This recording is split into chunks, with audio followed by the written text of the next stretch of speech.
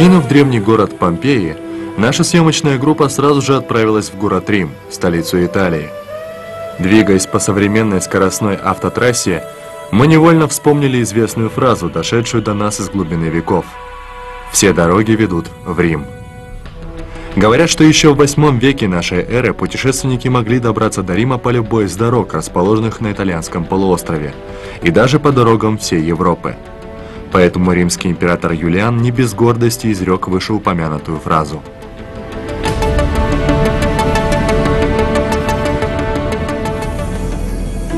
Когда перед нами появилась извилистая дорожка, нам было довольно трудно сравнить ее с древней римской дорогой – так как она показалась нам немного узковатой.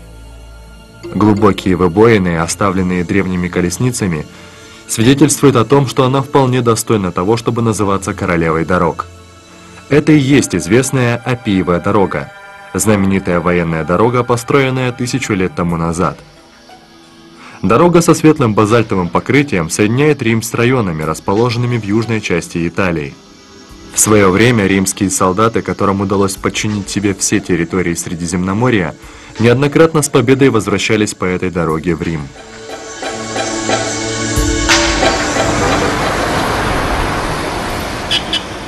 Проезжая по улицам Рима, нам трудно было найти подходящие слова для описания пейзажей, мелькающих за окном. Древний, грандиозный и вечный. Но и этими словами не выразить то великолепие и неповторимость, которые свойственны этому городу. Это волшебное место, где время, кажется, обратилось вспять.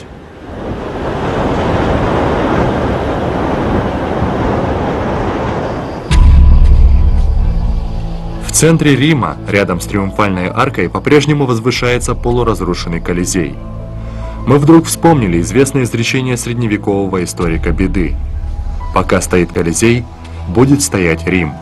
Но если падет Колизей, падет и Рим. А если падет Рим, падет и весь мир.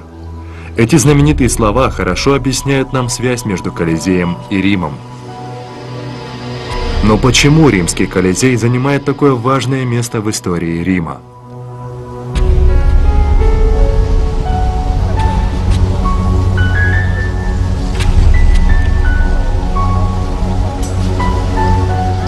По версии некоторых ученых, Колизей был возведен в 72 году нашей эры по указанию римского императора Тита Флавия Веспасиана в честь римской армии, покорившей Иерусалим.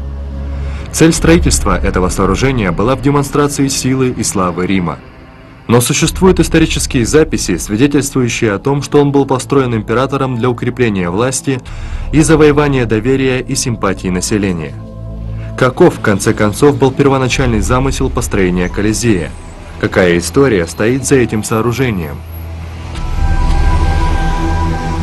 Глядя на великолепный Колизей, у нас возникли следующие вопросы. Какой научный метод был использован для построения такого грандиозного Колизея, который стоит здесь вот уже тысячу лет? Какие события произошли на его арене?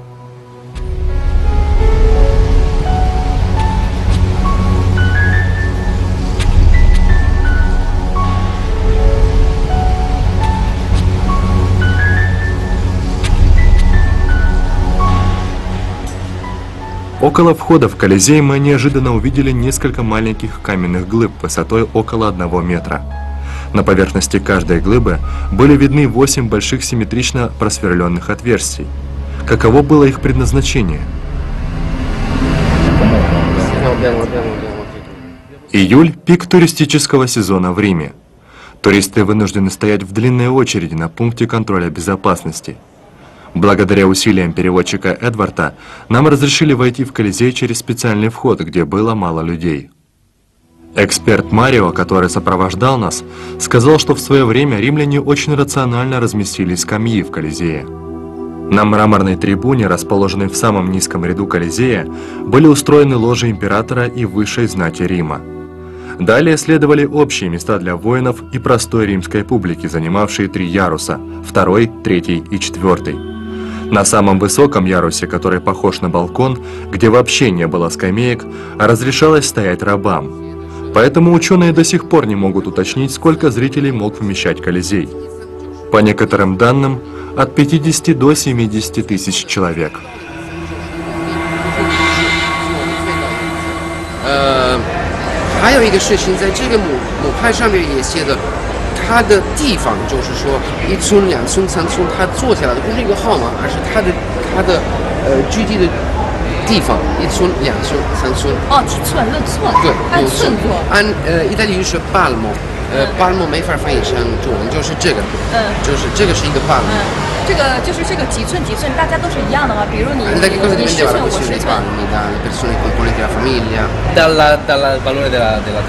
Oh,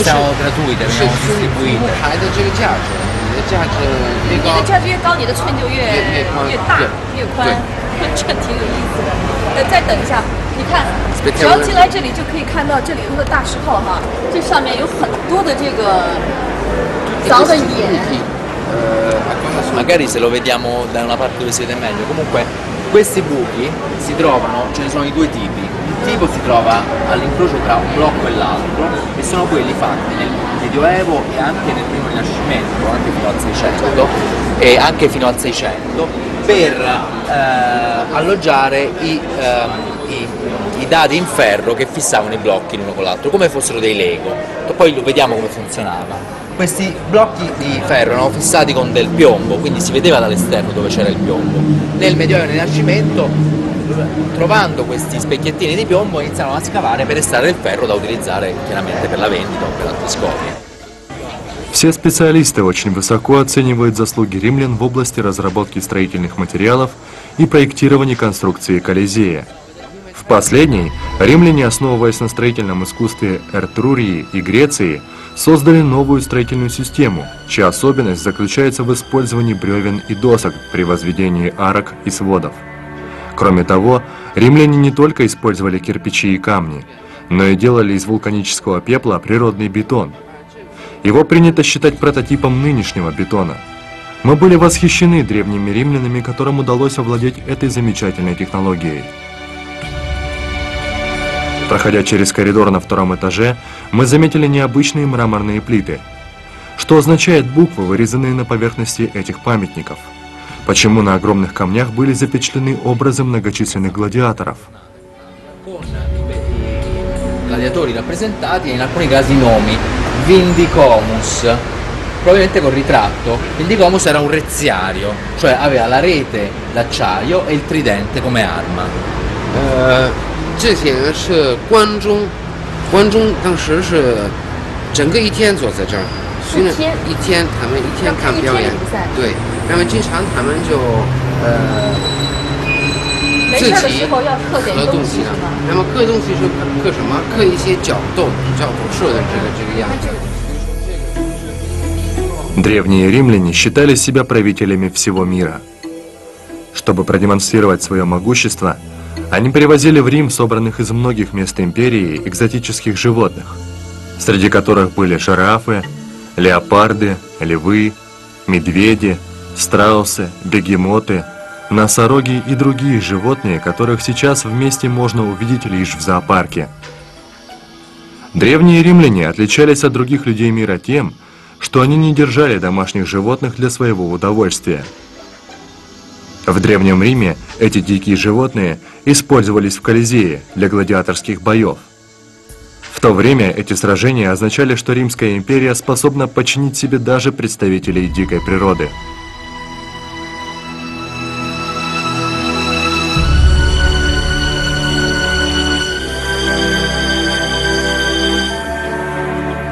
Эксперт Марио, который был нашим гидом, сказал, что обычно бои в Колизее устраивали по следующим правилам. Сначала были бои между животными, а затем бои гладиаторов с животными. Однако эти кровавые зрелища были лишь прелюдией перед началом смертельных состязаний. Настоящими героями были гладиаторы, которые должны были сражаться между собой.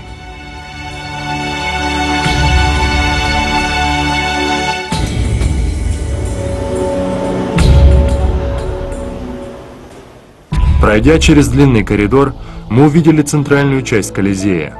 Арена, которая была в свое время великолепной и зрелищной, оказалась сильно разрушенной. Арки, стоящие вокруг, не сохранились в целом виде, но все еще выглядят величественными.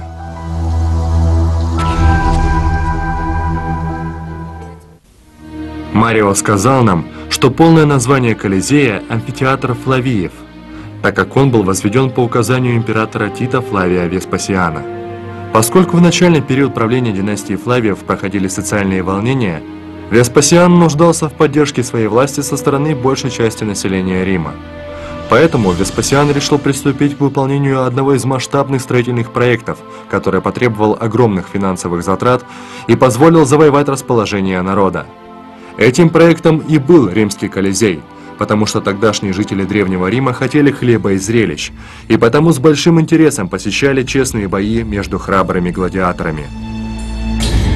К 79 году нашей эры было завершено строительство лишь двух ярусов Колизея. В это время состояние здоровья у Веспасиана ухудшалось с каждым днем. Он торопил архитекторов и купил еще больше рабов, а также нанял новых строителей, которые были вынуждены трудиться днем и ночью.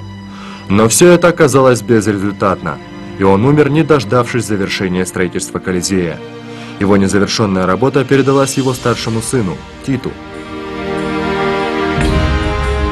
Как и его отец, Тит рассматривал завершение строительства Колизея как дело первостепенной государственной важности. В 80 году нашей эры Тит отдал приказ провести празднество по случаю окончания строительства, не дожидаясь полного завершения работ.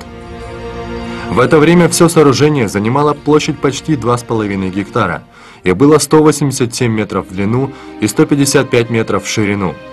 Церемония по случаю завершения строительства, прошедшая под председательством Тита и отличавшаяся особой праздностью и помпезностью, потрясла весь Древний Рим. Говорят, что торжества продолжались целых 100 дней.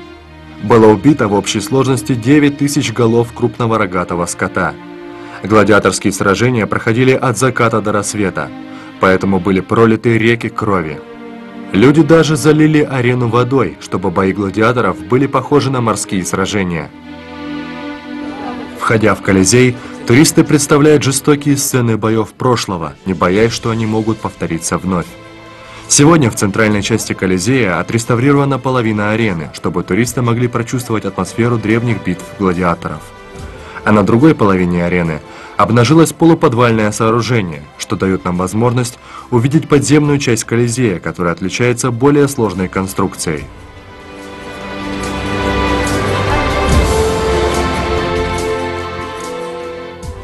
Questa è la parte sottostante l'arena, che è una, parte, una porzione piccola della zona diciamo, di servizio eh, sotterranea del Colosseo, perché tutto intorno vi sono dei grandi sotterranei, però non accessibili e pericolanti.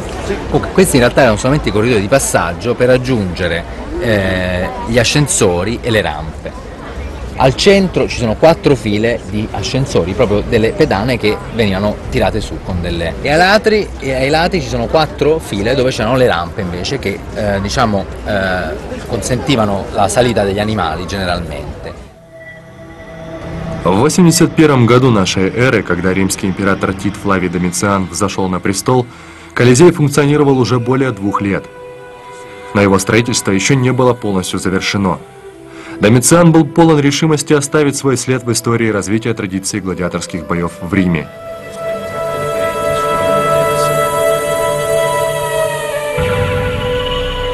Домициан отдал приказ, чтобы инженеры и техники выкопали глубокую яму под Колизеем. В результате была повреждена система подачи воды. Далее Домициан потребовал установить комплекс сценических конструкций, включая подземные подъемники, сценические люки и проходные коридоры – Цель заключалась в том, чтобы с использованием специальных сценических приспособлений дать публике возможность полюбоваться величественным зрелищем. Таким образом, было выполнено строительство основных элементов конструкции арены Колизея. В нее входило 32 подъемника, скрытых под ареной. Эти подъемники функционировали с помощью ручной силы и канатов. Говорят, что для того, чтобы привести их в движение, требовалась сила 256 человек – А в узком подземном туннеле арены протяженностью больше полутора километров располагалось 32 клетки для диких животных. Говорят, что когда зверей прогоняли вперед по туннелю, они не могли свободно развернуться из-за тесноты пространства. Поскольку зверям было некуда бежать, их очень легко было загнать в открытые клетки. После того, как звери входили в клетки, за ними сразу же закрывались двери. Вслед за тем клетки с дикими животными поднимались на второй ярус подземной конструкции – Сильно напуганные и голодные звери, естественно, бежали к хорошо освещенным местам, прямо к центру Колизея, то есть к арене, куда и были устремлены взоры всех зрителей.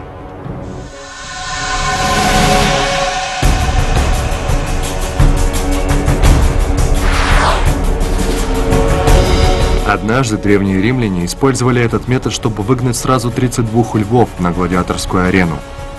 Взбешенные звери громко рычали и выли.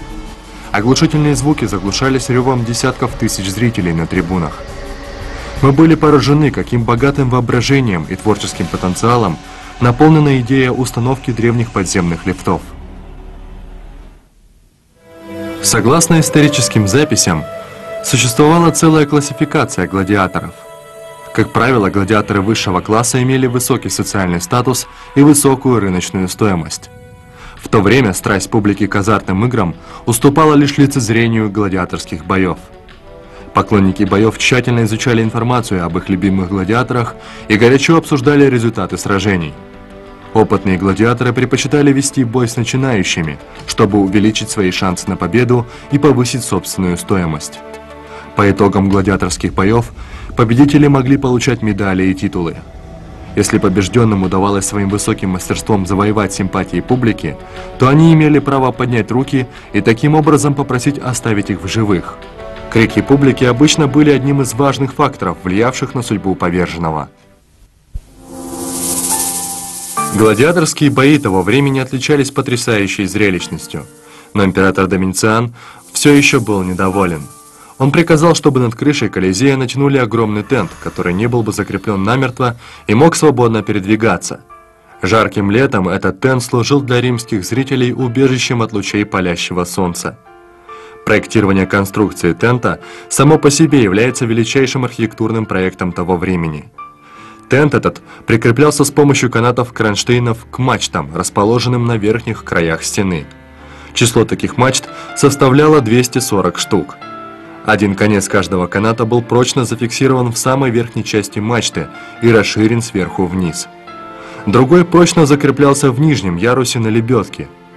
При подъеме или опускании тента все лебедки должны были одновременно приводиться в движение.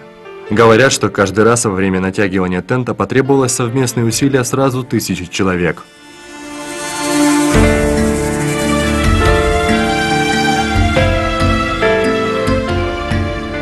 Оказалось, что каменные глыбы, которые мы раньше видели у входа в Колизей, являются остатками оснований, на которых закреплялись лебедки для тента.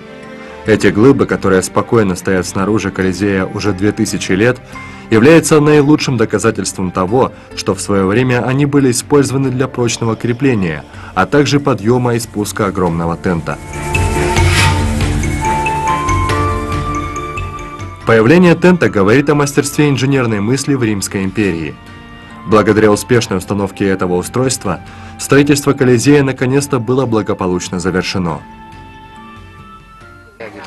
Sono morte tante persone, eh, possiamo fare una stima, eh, probabilmente in tutto da lì, il Colosseo ha funzionato per quasi 500 anni, in realtà gli spettacoli cruenti sono, stati, sono durati 300 anni, considerando almeno un uso di eh, 50-100 giorni l'anno, almeno eh, tra i 200 e 300 morti al giorno sono, fanno svariate decine di migliaia di morti. 呃，我们有一个统计，基本上是呃每呃每一天有 差不多呃一百到两百个人能死了，这个是在头三百年的时间。头三百年。因为从奥古斯都签字之后呢，也就呃这里死了的人的件数就少了。那么一年有一百天的表演，嗯，所以呢，你这只能算是一个很大的数字。По подсчетам, ежегодно за 100 дней гладиаторских боев, которые проводились в Древнем Риме, убивалось примерно 700 тысяч человек. в 200 году нашей эры при правлении императора Северуса были отменены бои с участием женщин-гладиаторов. В 404 году нашей эры император Ганорий отдал приказ о прекращении борьбы между гладиаторами. А борьба гладиаторов с дикими зверями была окончательно отменена только в VI веке нашей эры.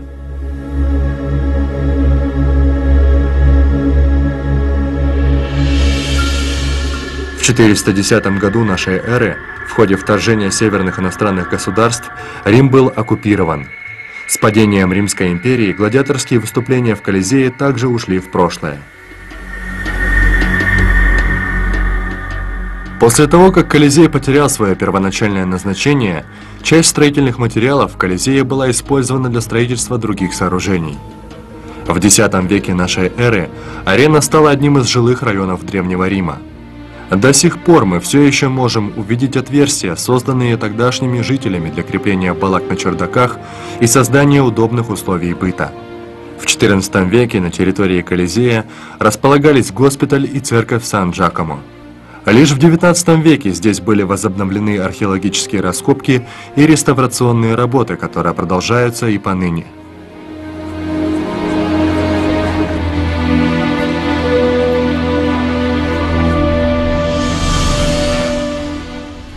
Время летит незаметно. Давно уже закончился самый блестящий период в истории Древнего Рима. Удивительно, но Колизей сохранился до наших дней. Хотя от него и остались одни руины, но происходившие здесь события вызывают у нас большой интерес и сегодня. Почему древнеримская публика так любила страшные кровавые зрелища? Как относятся к этому современные римляне? Какое значение имеет Колизей для современного Рима? С этими вопросами мы отправились к смотровой площадке около здания римского муниципалитета, чтобы нанести визит вежливости вице-мэру города. Мы надеялись, что она даст ответы на все эти вопросы.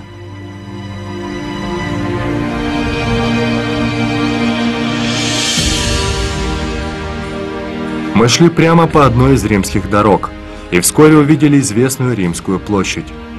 В свое время в этом главном в Древнем Риме районе возвышались многочисленные дворцы и храмы, а сегодня здесь лежат лишь руины. Во дворце Амелия, который когда-то был роскошным и великолепным, остались только хаотично разбросанные камни. На месте высокого храма Весты находится лишь три одиноких каменных столба. От величественного древнего храма бога Сатурна сохранились лишь восемь колонн а от других храмов – голые основания зданий.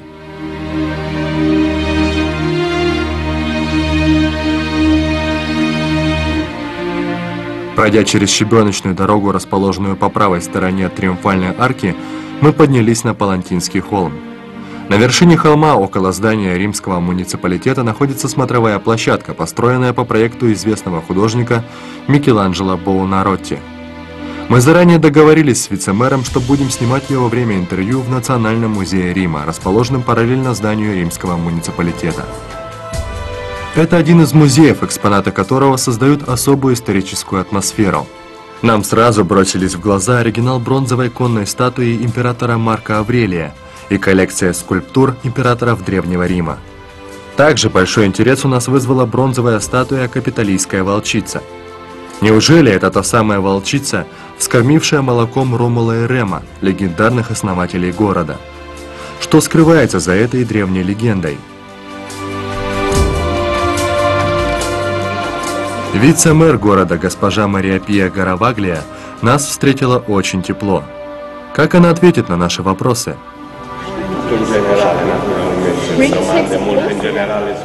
Eh,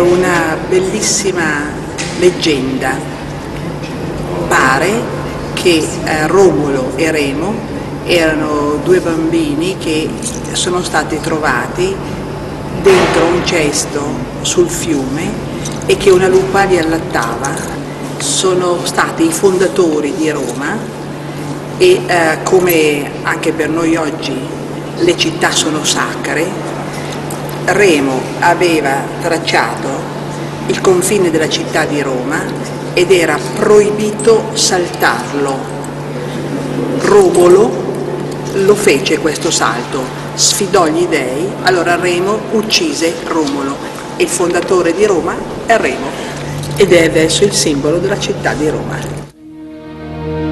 Сегодня волчица стала предметом гордости римлян. Они испытывают чувство гордости за своих предков, которые проявили сильную волю к жизни. Римляне часто говорят – мы, как дети волчицы, обладаем неистребимой жизненной силой, а также твердой волей, смелостью и решительностью. Это, наверное, и явилось одной из причин того, что Рим когда-то был самой могущественной империей в Европе.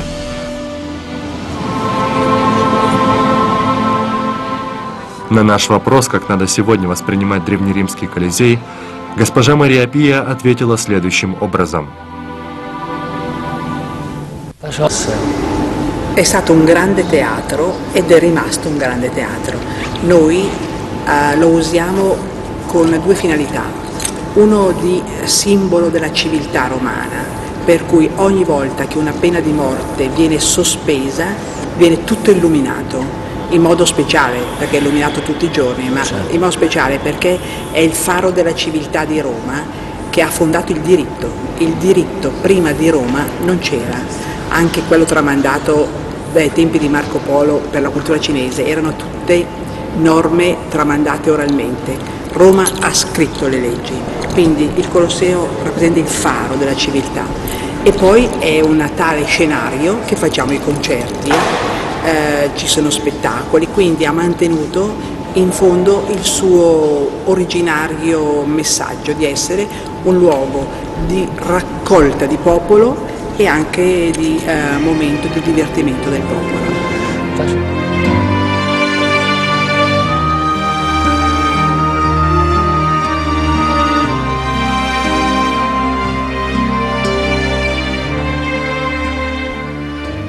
Стоя на смотровой площадке около здания римского муниципалитета, можно увидеть городскую площадь, открывающуюся с высоты птичьего полета.